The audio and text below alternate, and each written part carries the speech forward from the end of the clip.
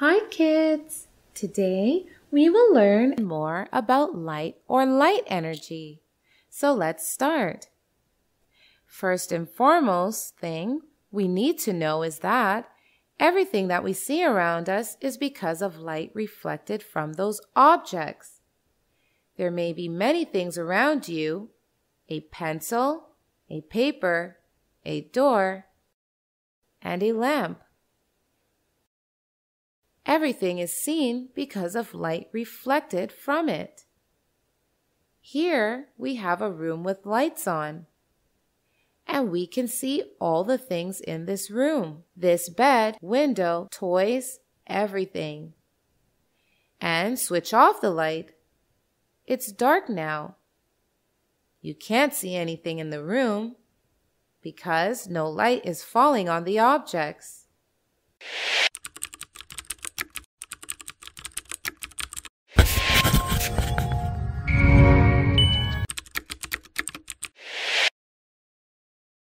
TutWay has thousands of animated videos on math, English, and science to clear the core basics of these subjects. Here is a park. We can see different plants, trees, flowers, because light from the sun is falling on these things. Now it's nighttime. Can you see any plants, trees, or flowers?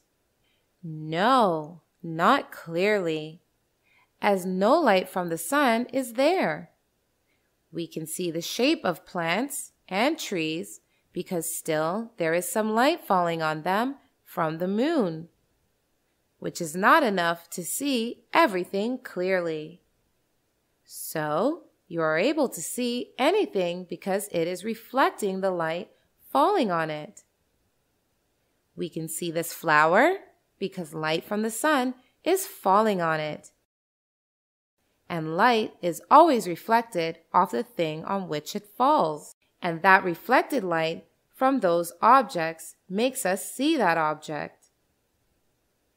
Here is an apple. You can see this apple because of the light falling on it is getting reflected back into your eyes. Now let's see what are luminous and non-luminous objects. Objects that give out light on its own are known as luminous objects. Let's see some examples. Sun, stars, fire, glow, and give out light on their own. So they are luminous objects. Here are some examples of living luminous objects. Fireflies, jellyfish, flashy fungus, radiant railroad, glowing millipedes. These are natural, luminous objects. They glow and emit light on their own. We see luminous objects because light emitted by them enter our eyes directly we see this bulb because the light emitted by it is directly entering our eyes. Now let's see non-luminous objects. Objects that do not give out light on its own are called non-luminous objects. Like this glass, does not emit or give out light of its own but it is reflecting the light falling on it, because of which we can see it. So it's a non-luminous object. These objects are emitting light of their own, so they are luminous objects.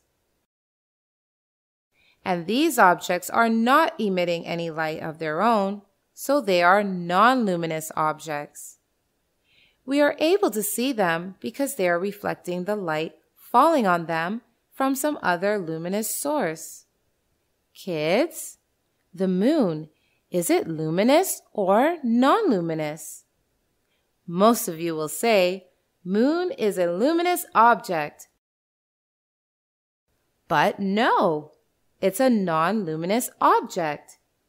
Moon does not have light of its own. It reflects the light of the sun falling on it, because of which it glows at night. So, kids, we learned how do we see different objects? And what are luminous and non luminous objects? We learned that all non luminous objects reflects the light falling on them, but not all the objects reflect light in a similar way. The smoother the surface, the more the light it reflects. This is why objects having smooth surface appear shinier, brighter, and glossier. And objects having rough surfaces do not shine and appear dull. We will learn more about light in our next assignment. Now go ahead and take a quiz to learn more. Bye bye.